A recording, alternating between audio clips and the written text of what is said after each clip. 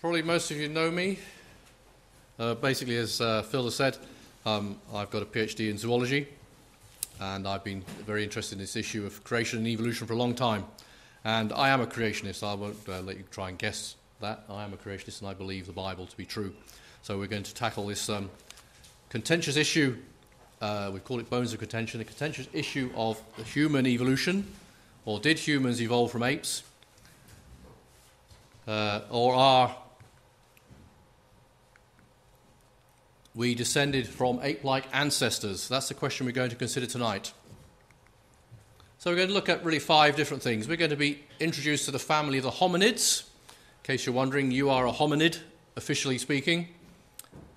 We're going to look at some of the methods that the uh, scientists use to evaluate the fossil hominids and also to evaluate uh, living creatures, living apes, and to see what the relationship is between humans and apes. And we're going to spend a bit of time looking at some of the key fossil hominids. There's quite a lot of fossil hominids out there, lots of different fragments. I'm afraid the, the, the old joke about uh, the, the bones that support evolution of uh, man from apes could fill a, a good sized coffin is no longer any good because they've got a bit more now. They can probably fit in the good sized coffin. You might need two coffins now, but uh, they've got a lot more evidence. It's quite confusing, some of it, which is actually rather important. And we can look at some very new evidence that's actually only come out this year. Since I prepared, I've been preparing some material on uh, human evolution for quite a while, and I wrote uh, a, a, short paper on it for a creationist organization back in the beginning of this year in January. And I made a prediction that as more work is done, it will become clearer which are apes and which are human. And shortly after that time, a couple of papers have been published which do just that. And we're going to look at that new, inf- new information, new evidence that's come out just this year. And we're going to have a quick look at genetics, because there's been some new information on the genetics as well, which is quite important when we're considering this question of the origin of humanity. So let's meet the hominids.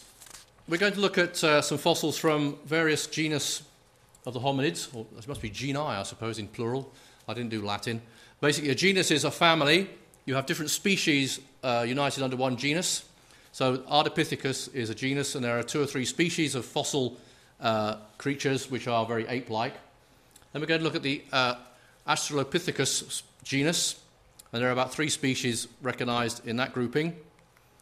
We're also going to look at genus Homo, which is us. We are Homo sapien. The modern humans are called Homo sapiens, wise men. Uh, somewhat pretentious, don't you think? But there you go. Uh, at least um, five species, probably as many as nine, depending how you draw your lines and how you divide up your species. And that's actually one of the issues which you often come across in this kind of debate. Where do you decide one species is different from another? Are they the same species? Are they two different species? It's actually quite confusing. So, really, we're going to try and um, deconstruct, if you like, the evidence that's often presented to us, conclusively proving, we're told, that we evolved from apes. So let's just have a look at the family tree. Here we have uh, the, some of the key players in the hominid family tree. We have the gorilla, we have chimpanzee, and we have human beings. And the evolutionists tell us we're all related in some sort of family tree, and we've got various uh, linking fossils, transitional fossils, we're told, which uh, tie it all together. Uh, or is actually the reality more like this, where we have uh, separate lines? In fact, you've got gorillas, you've got humans, you've got chimpanzees. And what evidence have we got to show to, to support that claim? which is the alternative claim. So let's have a look at uh, how we actually analyze the fossils. There are lots of different ways that anthropologists or uh, paleontologists look at the fossils. And when studying human fossils, there are a few key factors which are very important. One thing, one way of analysing the fossils is to look at the humerofemoral index. It's basically the, the ratio of the length of your uh, thigh bone to your uh, upper arm bone. They also look at brain size. The, the story goes that we started out with small brained uh, apes and we've got to large brained human beings. So we're going to look at some of that evidence very briefly. We're going to look at knuckle walking, which is a feature of an ape, ape's knuckle walk. And we're going to think about brachiation. Brachiation is basically swinging from one hole to another with your arms like a chimpanzee does. And we're going to have a quick look at the semicircular canal as well, because the semicircular canal is actually very important in trying to distinguish between apes and humans, because the semicircular canal is related to the way you move around, and apes actually move around in a different way from which uh, people move around. So we're going to look at these five pieces of evidence let's have a, look now at the humerofemoral index. Here we have a skeleton, and here is the, the femur, and here is the humerus. If you're human, your femur is longer than your humerus. If you're an ape, it's the other way round. So you can actually get data. This is what the, the paleontologists do. Here's an extract from a paper where they looked at the, the ratio of the femur to the humerus, plot it out in a graph, and these are the various creatures that are included on this graph. So you've got Homo, which is humans, you've got uh, chimpanzees, two different types of chimpanzee, gorilla, and orangutan, and various fossils. And here is a line which uh, is the ratio of 1. In other words, the femur and the humerus are the same length, so you get a ratio of 1. And above the line, you have the apes, and below the line, you have humans. And in the middle here, you actually have some fossil uh, creatures as well as. No, I don't think you have anything else besides fossils. You only have fossil creatures on the, actually on the line. So it looks like, from all the evidence we have, that if you're an ape or if you're a, fossil ape, it might be a bit contentious that claim, but I'm claiming that fossil apes as well uh, have a index between 1 and 1.3. What, 1.3 is up here, this is 1, and about 0.7 is human. And here are the human beings with uh, 0.7. And in here actually is a fossil human called um, Homo erectus. But we'll come on to that, we'll come back to that. Brain size. Basically, you have a primate brain which can vary from, if we consider all, all us, we're all primates, let's, uh, for the sake of our argument, consider ourselves all primates. I would actually argue that we're not primates, we're humans and there are primates. But let's follow, I'm going to take actually mostly the evolutionist reasoning and show you how it falls down. So I'm going to reason like an evolutionist and consider that we're all primates. So the primate brain volume goes from about 350 mil for a chimp to about 1,300 mil for a human being. And uh, here's a, uh, some re- recent data summarizing the current knowledge of brain volume. Here you have your chimpanzees and your gorillas, quite small brain size, going all the way up to actually uh, about uh, 650. Here you have a creature called Homo habilis, which is a bit like the, the gorilla in brain size. And up here you have various different Homo erectus uh, fossils where they have the skull, they can actually measure the brain volume. And there's quite a variety here. It's actually a very large variation, which in fact to me suggests that they're mixing up more than one species together. Because if you look at human beings, your, your variation is much smaller, the same with chimpanzees and gorillas. So if you take modern creatures and look at the brain size, they're pretty consistent. You take the fossils, you've got a massive spread, which is unusual. And these, these creatures here in the middle are very recently described this year in, in Nature. They has an article about them, which uh, actually confused the picture somewhat for the evolutionist. So here we have uh, a story goes that from chimpanzees, or from apes rather, with small brains, you gradually evolve towards a creature which has a large brain, and that becomes human. But we're going to look at uh, some of those assumptions a bit later on. Let's just explain what, what we mean by knuckle walking.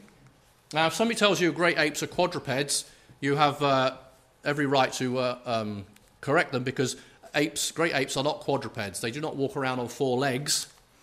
Uh, if anything, they walk around on four arms because apes tend actually have uh, four hands. Because you see them climbing a tree, you can see they've got hands on their, where their feet are.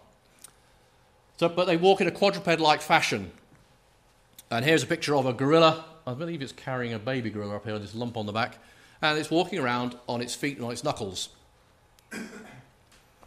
And the wrist bones are actually diagnostic. You can actually look at the wrist bones of an ape, you can look at the wrist bones of a fossil, you can take the fossil wrist bones, and you can work out whether they were knuckle walkers or not by the way they're constructed. They've actually got specialized scaphoid and radius bones. The radius bone is basically a large bone in your forearm, and the scaphoid is the first bone that connects your forearm to your hand, part of your wrist. And here the arrow is where the scaphoid is. And here's a diagram of a chimpanzee knuckle walking and what happens actually during knuckle walking is the wrist locks into place. Our wrists don't lock into place, they flop around. You can pretend to be an ape and pretend to knuckle walk, but you're not because your wrist does not lock into place in the right position.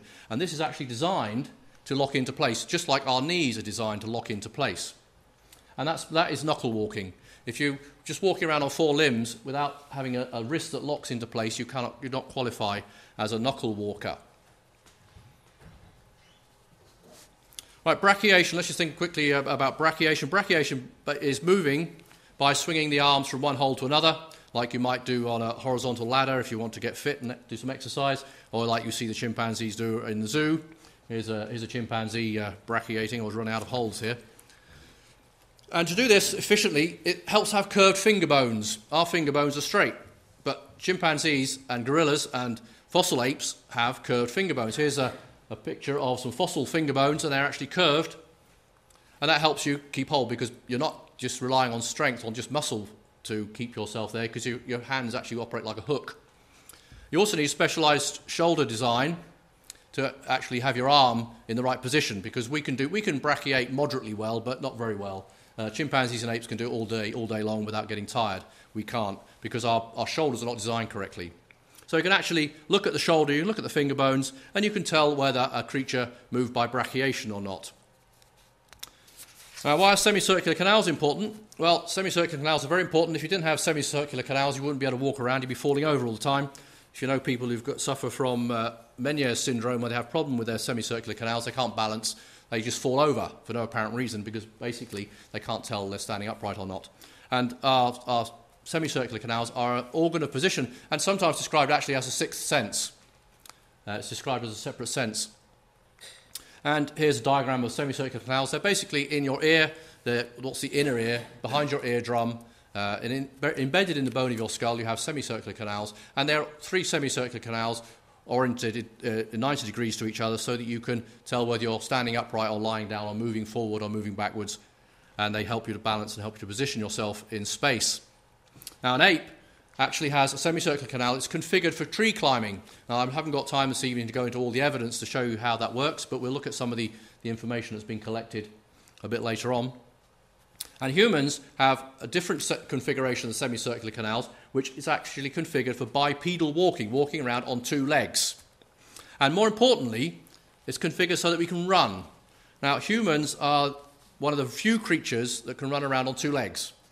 Now, apes can walk after a fashion, but they certainly can't run, and they certainly can't run a marathon. Human beings are designed to run marathons for some reason.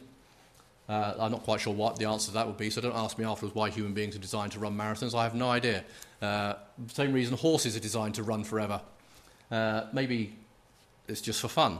But basically, if you're going to run, you need your semicircular canal configured for that. Semicircular canals have to be configured in a certain way to do that. So you do actually, you can actually do objective measures of the orientation, the size of the semicircular canals, and work out whether you have a creature that's designed to move around in the trees and move around as a knuckle walker or to move around bipedally standing upright.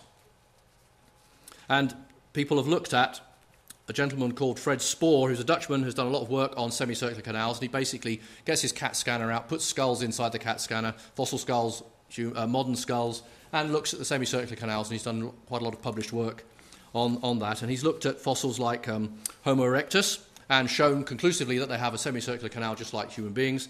He's looked at Australopithecus and uh, shown that they have a semicircular canal that is the same as the modern apes that move by, through the trees and move by knuckle walking. So that's a, a, very rapid tour of some of the techniques that paleontologists used uh, to analyze the fossils and try and work out their lifestyle and the way they moved and the way they lived. Let's try and work out whether they have characteristics that are human or ape like or a mixture of the two. So let's look at some of the fossils We'll start with Ardipithecus. By the way, Pithecus means ape, in case you're wondering. So this is a, uh, an ape from the Ardi, um, the Ardi region of Africa. That's probably not the right uh, pronunciation, but it's an ape from that region. And it's an ape like animal. Nobody uh, contests that. That's uncontroversial. Uh, but they are rather fragmentary. There's not very much good fossils, very many good fossils for this, um, this uh, creature. And here are some of the fragments you get. So a few bits and pieces, teeth and all the rest of it, uh, teeth and a few bones, leg bones, a bit of a jaw. Not very much evidence, but um, they are believed, they're about the size of a modern chimpanzee on the basis of the fragments that we can find, and they're believed to be the ancestors of the Australopithecines, which means southern ape, in case you're wondering. And some people try to maintain that they were bipedal, but the evidence is a bit shaky, so I don't think anybody's going to stake their career on claiming that Ardipithecus was bipedal. But they are claimed to have ape-like, ape-like traits and um, Australopithecine-like traits. But actually, um, the evidence from the spinal column and the way they, the head attaches to the spinal column suggests that they were not completely bipedal. So that's Ardipithecus, supposedly in our family tree. But I think it's an extinct ape, and I think the evidence is fairly strong to show that it, well, it's extinct and it's an ape. Uh, an ape.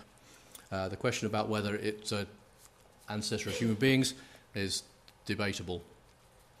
I just want to mention uh, uh, Toumai, if that's the correct pronunciation, um, another fossil that was quite uh, re- discovered a couple of years ago. Has a relatively small cranium, in other words, relatively small skull. Here's a picture of the skull. It's, it's a reasonably complete skull. The interesting thing about it, it's got quite a flat face, which is a characteristic of being human. So people have suggested that actually this might be a human ancestor because it had a flat face. Uh, it had a, there's only been five pieces of jaw bone and some teeth. Brain case is quite small, a small brain, about 150 mil in volume, we would suspect from what evidence we have. Unfortunately, there are no bones below the skull, so we can't really tell very much about how it moved about. And, but uh, some people have basically concluded that this is a type of gorilla. Looking at the features of the skull, uh, evolutionists have decided that it's probably actually uh, a gorilla or a chimpanzee. And the claim that it could be related to human beings is not very easy to uh, substantiate. Let's come on to uh, Australopithecus, which is arguably the most famous, most well known fossil uh, ape, suggested to be a human ancestor, considered even today to be the most likely candidate for a human ancestor. And the most famous uh, Australopithecus is uh, Lucy, codenamed AL2881, Lucy. And here she is. Uh, not very much of her, actually, and it's even debatable whether she was female or not. Uh, there's been some discussion about that recently, uh, suggesting that maybe it wasn't female after all, but we don't want to spoil a good story. We'll call her Lucy. Everyone knows who you're talking about. Found in 1974, so quite a while ago, in Ethiopia. But all the evidence actually suggests that it was able to move three different ways. So it's actually got a mix of characters. It has fingers and feet, which suggest it could have been very good at climbing trees, just like a modern ape. But it also has wrists and fingers which are consistent with knuckle walking, also like the great apes. But its pelvis, the, the hip bones, of which there are about half the hip is here, slightly over half the hip, uh, suggests that it could have walked upright as well. So we have a creature which seems to be able to move three different ways uh, moving through trees by brachiation, moving by knuckle walking, and actually being able to stand upright and walk around upright as well. Then, recent, more recently than that, uh, in uh, 2006, there was a publication of uh, a group of workers, including uh, Fred who does all his work with the CT scans on the um, semicircular canals, and he, they discovered a fossil which they're calling the Dikika baby. Uh, and this is believed to be also called Lucy's baby because it's a baby Australopithecus. Juvenile skeleton, probably about uh, three years old, they reckon. And here's, a, here's the skull and some of the shoulder, uh, shoulder bones on here. And uh, it's, it's, it's, a find that is still being investigated. They've basically chipped away the rock from the skull and some of the uh, upper part of the, the, skeleton, and it's still working on the legs and uh, some of the arms. But so it's sort of work in progress. But one bone they did come across, which they hadn't uh, found before in a fossil ape, is the, uh, the voice box bone, or the, the uh, hyoid bo- bo- bone, which is the only bone in your body which isn't attached to another bone, sits in the front of your windpipe and it forms part of your voice box. You can actually measure various dimensions on the voice box, on this bone, and plot out some graphs. So, what these researchers did when they found this bit of bone, they said, well, let's look at this, let's analyze it, and they're going to compare it with gorilla and chimpanzees and humans. And here you have the humans. So we've got all the blue uh, diamond shapes are humans. You've got a, a, a regression line going through here. And here you have chimpanzees and gorillas, and the, the triangle here, uh, we'll go back. The triangle here is this uh, fossil. So the conclusion is actually it's just like a gorilla or chimpanzees, and the conclusion from that is they would not be able to speak, these creatures. So Australopithecus would have been unable to communicate as a human being would communicate. But interesting to note that it's actually very, sits very closely with chimpanzees. It's not a transition between chimpanzees and humans, it sits in there right up with the apes. Another piece of bone they found was a shoulder blade, which was very useful looking at the way the shoulder was constructed because you, you might remember the way you work out whether you can brachiate or not is looking at your shoulder as well as your fingers. And they did also find finger bones, and the finger bones were curved. Here is, here is the shoulder blade of this fossil. And uh, next to it, you've got a gorilla and a chimpanzee. And you can basically draw a line through this axis and work out from that what you're most similar to. And the fossil Dikika has a line which is pretty much identical to the gorilla. There's no, there's no difference between that. It's slightly, slightly less sloping, if you like, but there's pretty much nothing in it. And the human is the last one here. And uh, this line is actually horizontal. So the way our, our arm attaches to our shoulder is different from a chimp, different from a gorilla, and different from this uh, Dikika baby, this Australopithecine. So the conclusion here is that it was able to swing through the trees much like a gorilla or a chimpanzee. And you can actually plot out various parameters, which is what the researchers did, just to show it much more conclusively. Uh, here they have, here's the data they produced. They analysed human shoulder blades and human uh, gorilla and chimpanzee as well. G is gorilla, P is uh, pan for chimpanzee, and the, this D here is the uh, Dikika shoulder, and right in with the gorillas. Human beings are up here. So completely different again from the human condition. So this uh, Lucy's baby, as they call it, allows us to make some preliminary conclusions on uh, Australopithecus. It had a gorilla-like shoulder blade. It also had the long curved finger bones, so they were curved like hooks, so they could uh, grip the trees, uh, tree branches very efficiently. So it would have been very efficient at brachiation, swinging through the trees like a chimpanzee or gorilla or orangutan. But they've also unearthed the foot and some of the lower limb and from that, they suggested it, was it could walk around bipedally, so it could stand up on two legs and walk around. Again, how well it could do that is an open question, and there's no uh, clear way to determine whether it could walk like a human being for long distances or not. But the fact that it is designed also to brachiate suggests that it would have used a mixture of uh, modes of locomotion, just like Lucy would have done. In other words, it can brachiate, it can use knuckle walking, and also move around bipedally if it wished to. And that was uh, 2006. That was published, September 2006, just over a year ago. But this year, uh, in 2007, earlier this year, somebody analysed the, uh, the ramus of Lucy. What's the ramus? The ramus element is actually part of your mandible, your lower jaw, and it's the bit that attaches your lower jaw to the rest of your skull. Here's a picture of the, the mandible of Lucy and another Australopithecus uh, afarensis, which is the same species as Lucy and the ramus is uh, this bit circled here. And here we have a human uh, jawbone, and as you can see, hope very clearly, the ramus is remarkably different from that of Lucy. What you've got here, where the arrows are pointing, this is the, um, the coronoid process of the ramus, and here in human beings, it's, it quite narrow at the, t- at the end. So it's triangular. But here, in Lucy, it's more sort of uh, arch shaped, so much wider, so it maintains the same width all the way up. And then you've got have to look at the notch here. This is called the um, the notch, the mandibular notch. And in humans, it's quite wide and V-shaped, whereas in Lucy and other Australopithecus species, it is more narrow and U-shaped. So the conclusion here is and this morphology, this, the, shaping, the shaping of the um, ramus is very similar to that seen in gorillas. And this is a conclusion I'm quoting from the paper. The presence of the morphology in both Australopithecus robustus, which is another type of uh, southern ape, more, more, more, robust, larger, stronger built than the, the afarensis, and its absence in modern humans actually casts doubt on the role of Lucy as a common ancestor. So these researchers are actually saying and this is publication for if you want to go and check it out. It's in the um, publication, uh, so what, the Proceedings of the National Academy of Science of the US of A, published in April 2007 and by these gentlemen. And they concluded that actually this suggests that Lucy couldn't have been a common ancestor of human beings. And that's not a creationist saying this.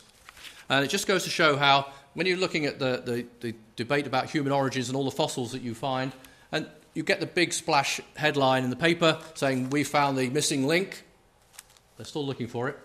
They still call it the missing link. We found a missing link. Here it is. Uh, but then a few years later, they do a bit more analysis. They get a few more fossils, and they, they refine their techniques. And suddenly they say, well, actually, no, we're not convinced anymore. It doesn't seem to be the missing link. So this is actually what's happening to Lucy at the moment. Although, of course, the, uh, the jury is still out. But these people have published this research, which looks fairly convincing, suggesting that at least fe- as far as this feature is concerned, it doesn't appear to be in the li- lineage of humans. It's more likely to be in the lineage of gorillas. So Lucy more likely to be the, uh, the ancestor of gorillas.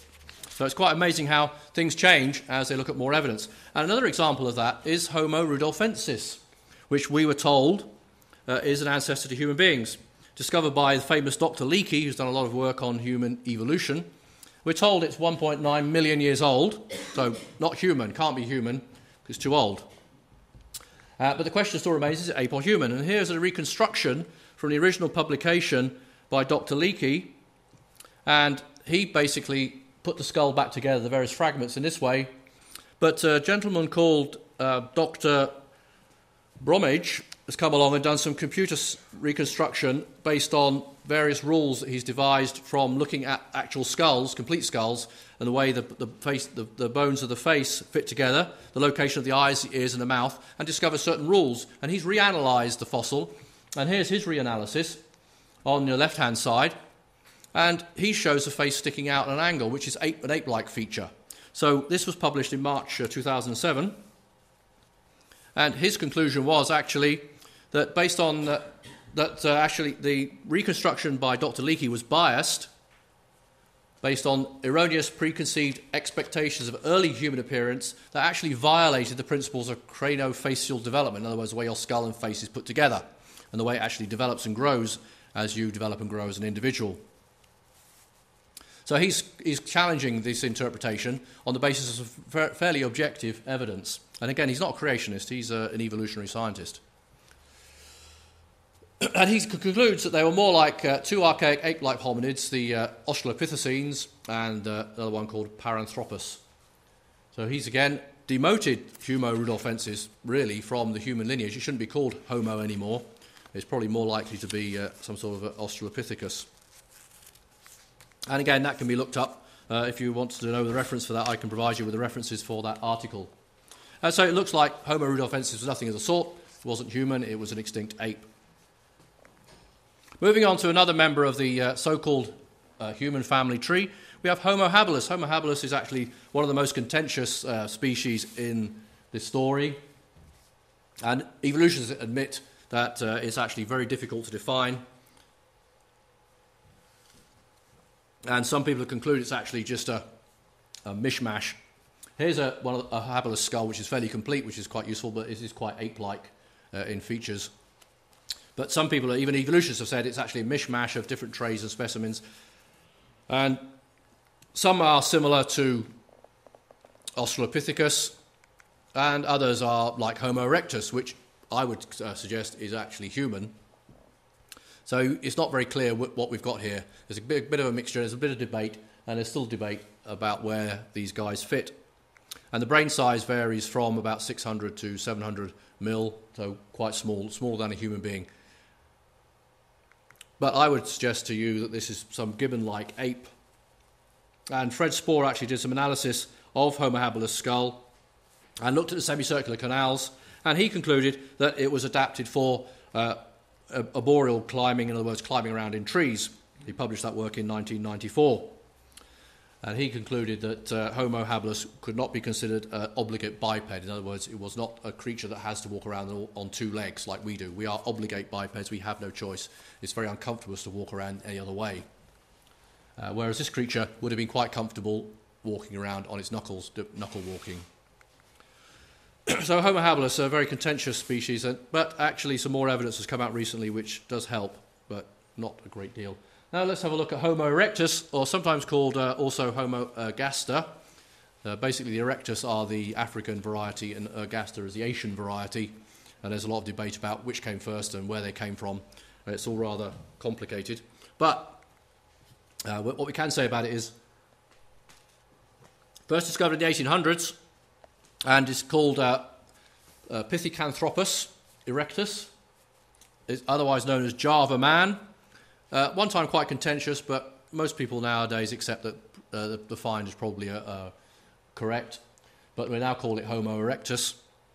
And here we have a creature which has actually him, human limb proportions. So their, their femur is longer than their humerus.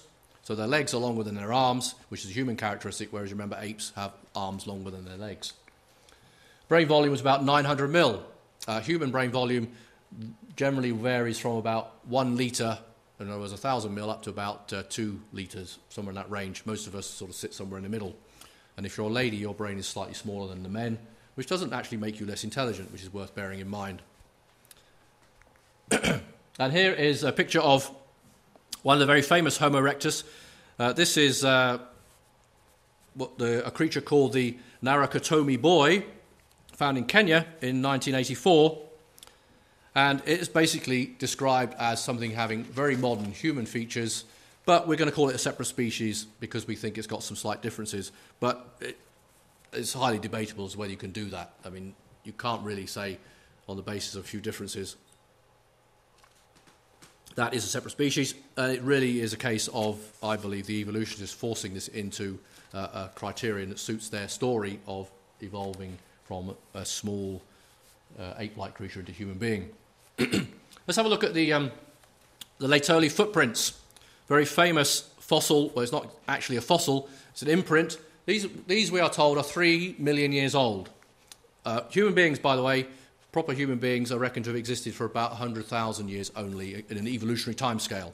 So let's just give you the context. Here's a picture of the place where you can find these, these Laetoli footprints. In other words, they're in Laetoli. And there are a series of footprints. Here's a, a large blown up picture of one. And th- they are claimed to be made by Australopithecus afarensis because that was a creature that was around at the time that they, people believe could walk around on two feet. Unfortunately, the, some researchers have recently analysed the, one of the bones in the foot, the navicular. A diagram of the foot for you show where your navicular bone is. Here it is. It's actually a very important part of your foot because it, it makes the arch of your feet. We have arched feet, and the navicular bone, the shape of the navicular bone, determines the fact that you have an arch or not. And if you don't have a navicular bone, you don't have an arched foot, you have a flat foot. And what they found was the afarensis navicular is, is designed for flat footed animals, a bit more like an ape than a human. And the conclusion was that uh, Australopithecus afarensis almost certainly did not walk like us, for starters, and like the hominids at Laetoli. And what they've also did is they, they basically took somebody who doesn't habitually wear shoes, make them walk around in sand, and you get prints just like you find at Laetoli. So these prints look human, but they are attributed to um, Australopithecus because humans weren't around three million years ago. They're logical, consistent. Well, maybe the three million years is wrong, or maybe the, whole time scale is wrong. So that's the Laetoli footprints, which is, are quite controversial because they look as though they've been made by a modern human being walking around in some sand. Indistinguishable from, indistinguishable from modern human footprints, basically. Can't do a talk on human evolution without mentioning this guy, Homo floresiensis, otherwise called the Hobbit.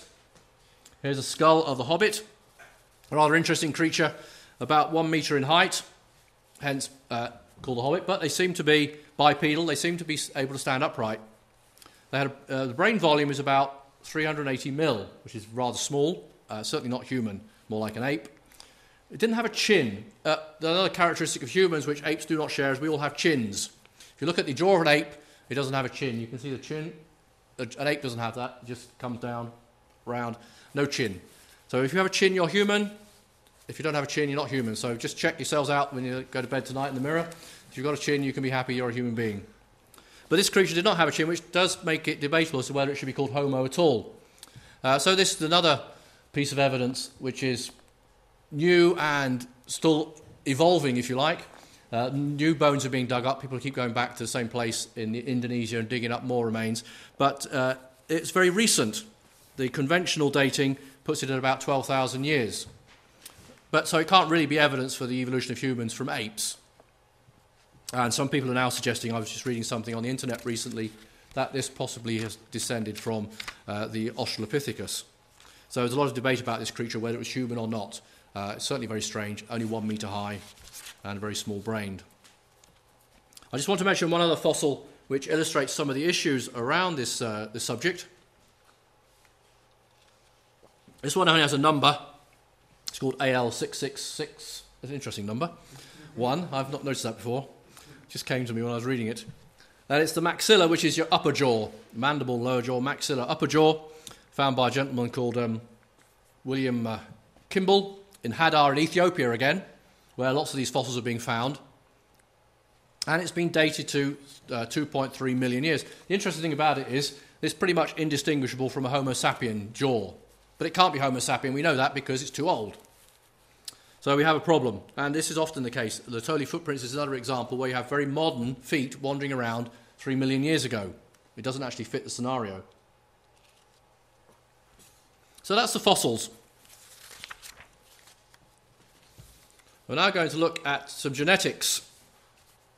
You are told confidently by a lot of people still today surprisingly, they're still doing it today, that we're about 99.5% similar to apes in our genes. You took our genes, uh, maybe a bit less than that.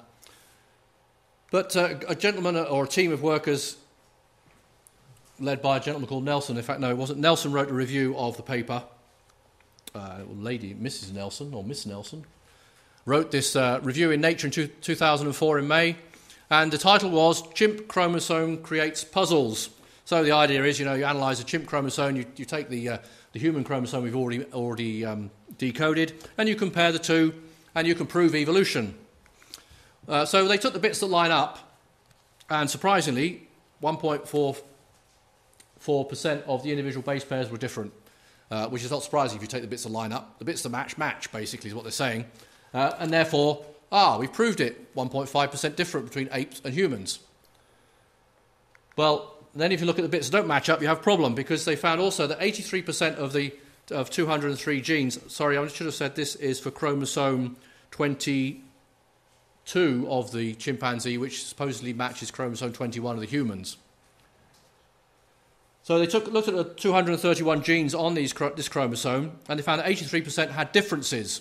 Quite small, some of them, quite major others, but 20% showed significant structural changes. So, in other words, if you decode that bit of DNA and turn it into a protein, you've got a different protein structure than you had previously. So that's 20%. That's quite a big difference. That was only one chromosome. So maybe uh, when they analyse the rest of the, the rest of the uh, chromosomes, of which there are 60, uh, sorry, 48 in chimpanzees and other apes, and only 46 in humans, which is an interesting question which I'm not going to go into. But you might like to think about how an ape with 48 chromosomes becomes a human with 46. It's more difficult than you think. That's why I call this the myth of 1%. And Cohen, wrote, writing in Science in June this year, wrote about analysis of various stretches of DNA, and he basically concluded that there are stretches of DNA that have been inserted or deleted from the genomes. In other words, if you compare the chimp from the human, to get from one to the other, you have to insert and delete different bits of the gene. I would, of course, argue that the, no, no deletions or insertions have occurred, they're just different. But the evolutionary take on it is well, we've evolved from chimpanzee, we've evolved from apes rather, so therefore the bits of the genome has to be switched around. And then uh, a group of workers led by uh, Demuth, or Demuth, however he pronounces his name, published online. There's this journal here, PLOS One. I can't remember what that stands for, but again, uh, December last year. And they did a lot of analysis of human and chimpanzee genomes, and they found differences in 1,418 out of 22,000 genes just to save you from adding that up, that's 6.4%. So that is the latest best figure of the difference between humans and chimps in terms of DNA. We are actually 6.4% different, not 1.5% different. And that's the latest data. so the story gets more complicated. In fact, the 1.5 is uh, one of the biggest scandals in uh, human evolutionary research ever, based on some very dodgy data produced about 20 years ago. But these things happen. Okay, let's talk about gorillas for a while, because gorillas are supposed to be in our family tree. Uh, again, a, a, very recent publication. This is in um, this year. I haven't got the month, but quite recently this year, a couple of months ago, I believe this was. The oldest gorilla has been unearthed. Uh, there we go, uh, Nature 2007, volume 444. And they found eight molar teeth and a canine tooth. Often uh, you wonder about evolution, you think they seem to be describing the evolution of teeth, and you get the impression that these teeth mated and produced baby teeth, and these teeth look like this, and they evolved into different teeth. And the creature that fit, fitted the teeth is neither here nor there. And it's a bit like this with this story. Here we have a, a modern gorilla jaw down the bottom, and these teeth that they found, they actually match up very precisely with the teeth of a modern gorilla, which is all very well, except we're told that humans and gorillas split off somewhere around 7 million years ago. This creature, unfortunately, is about 10 or 11 million years old.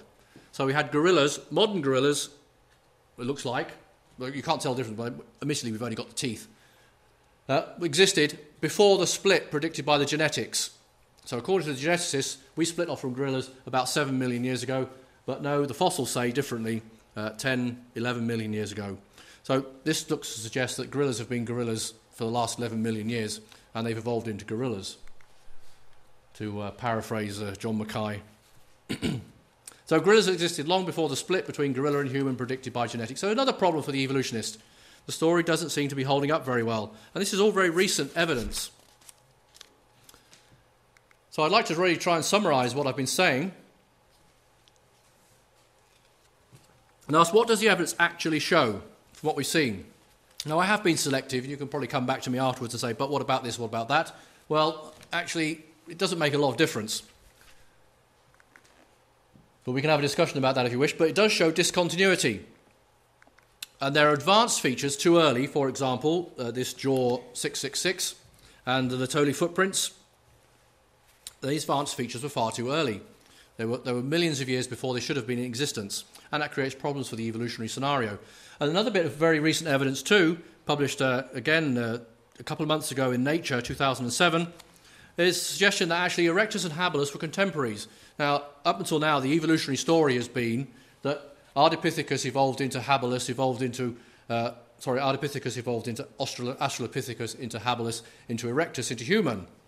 And here we now have, they, they seem to be contemporaries. They're actually now considered to be, according to some of the latest evidence, parallel lines. So they weren't related at all. They're moving together in different directions. And um, this recent evidence, which I showed you from the, uh, the ramus of Lucy, showing that the Australopiths, the southern apes, are not related to humans after all. They're more, they're more closely related, it appears, to gorillas. And then we have the, uh, the oldest gorilla, which is 11 million years old, which existed before the split predicted by the geneticists. So, again, another problem for, for this branching tree. The branching tree doesn't seem to be branching anymore. You've got gorillas leading up to gorillas. You've got uh, suggestion that the Lucy was a, uh, an ancestor or an ancient gorilla. And Erectus and Habilis are split off into two separate groups altogether, if Habilis exists as a single group. And these advanced features which suggest that the story is not quite what we're told sometimes. And finally, we look at the genetics. We've actually got significant genetic differences. The, the distance between chimps and humans has suddenly enlarged from 1.5% to 6.4%. And that's a fairly major difference when we consider that you're only 50% difference from, different from banana. And the fact that the chimpanzees like bananas has nothing to do with it. compare and contrast.